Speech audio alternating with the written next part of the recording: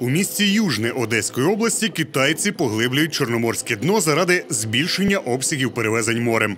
Одна з компаній Піднебесної перемогла на тендері Прозоро, і зараз її техніка та фахівці працюють цілодобово. У нас заплановане закінчення проекту на 31 березня 2018 року. Кожного дня швидкість наших робіт перевищує запланований нами та замовником, тому ми точно встигнемо.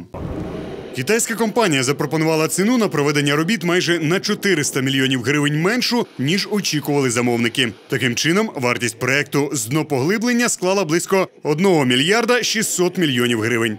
Попри нереспектабельний вигляд техніки, адміністратор порту стверджує, що працює вона відмінно. Когда оно пришло с Азии, оно еще хуже выглядело.